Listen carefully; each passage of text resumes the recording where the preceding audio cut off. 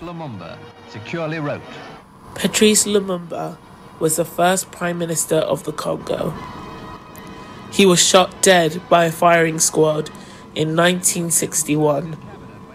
Fearing any grave would become a site for his martyrdom, his body was dissolved in acid.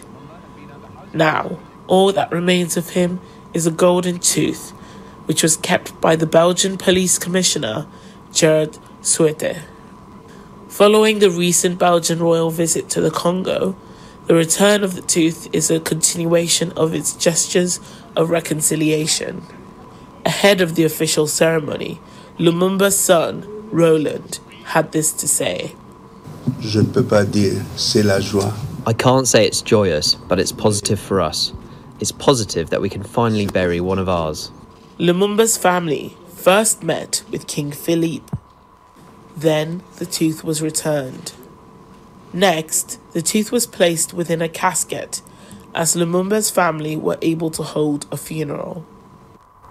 Le retour de Patrice Emery Lumumba dans son pays. The return of Patrice Emery Lumumba to his country will certainly allow the Democratic Republic of Congo to recover an essential link in its national memory, fragmented by the tragedy of his death. Beyond the Democratic Republic of Congo, an entire continent, Africa, is celebrating the return of one of its worthy sons.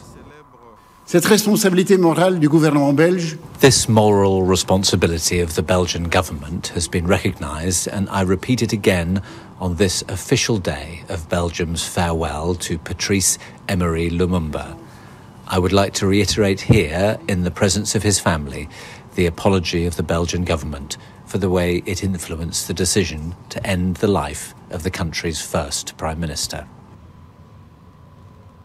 After 61 years, Patrice Lumumba, a hero to many in the Congo, is finally laid to rest.